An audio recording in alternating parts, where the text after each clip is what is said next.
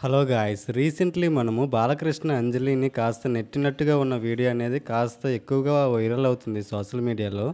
ఈ వీడియోని మనం చూస్తున్నాం. అసలు అక్కడ ఏం జరిగింది ఏంటి అనేది కాస్త మనం తెలుసుకుందాం. Gangs of Godavari pre release ఈవెంట్కి బాలకృష్ణ చీఫ్ గెస్ట్గా వచ్చారు. అది స్టేజ్ పైనకి వెళ్ళిన తర్వాత అందరు కలిసి ఫోటో తీసుకున్న టైంలో బాలకృష్ణ అంజలిని కాస్త సైడ్కి వెళ్ళమని చెప్పాడు. అయితే అంజలి కాస్త జరిగింది. అయితే ఇంకా కాస్త జరగమని చెప్పడానికి బాలకృష్ణ నార్మల్గా చెప్పకుండా కాస్త అంజలిని నెట్టాడు అనమాట వాళ్ళకున్న అండర్స్టాండింగ్ అయిన చనువుతో ఎందుకో తెలియదు. దీన్ని కాస్త సోషల్ మీడియాలో ఎక్కువగా వైరల్ అవుతూ ఉంది. అదే కాకుండా ఈ ఈవెంట్లో బాలకృష్ణ ఒక వాటర్ బాటిల్లో కాస్త వైన్ ఆల్కహాల్ పెట్టుకొని తాగినట్టుగా కూడా చిన్న క్లిప్స్ అనేవి బాగా వైరల్ అవుతున్నాయి. ఇలా తాగి ఒక అమ్మాయిని ఇలా నెట్టడం అనేది కరెక్ట్గా కాదు అనేది చాలా వీడియోస్ అండ్ చాలా ఒపీనియన్స్ అనేవి బయటకు వస్తూ ఉన్నాయి. బాలకృష్ణ ఇలా అంజలిని నెట్టిన తర్వాత అంజలి అయితే జస్ట్ టేక్ ఇట్ ఈజీగానే తీసుకుంది ఫ్రెండ్లీగా.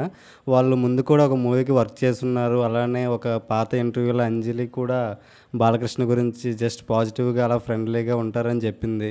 వాళ్ళ అండర్స్టాండింగ్ ఉంటుందేమని మనం అనుకోవచ్చు. అయితే ఇక్కడ ఎందుకు ఇంత వైరల్ అవుతుంది అంటే బాలకృష్ణ ఇలాంటి యాటిట్యూడ్తో ఉన్న వీడియోస్ అనేవి పాత వీడియోస్ మనము కాస్త ఇయర్స్ బ్యాక్ కొన్ని మంత్స్ బ్యాక్ కొన్ని చూసున్నాం అనమాట అంటే ఫ్యాన్స్ అందరూ దగ్గరికి వచ్చేటప్పుడు ఫ్యాన్స్ని కొట్టడం అతని సెట్స్లో కొంతమందిని వర్కర్స్ని కొట్టడం ఎలక్షన్ క్యాంపెయిన్స్లో కొట్టడం ఇలాంటి వీడియోస్ అన్నీ చూస్తున్నాము.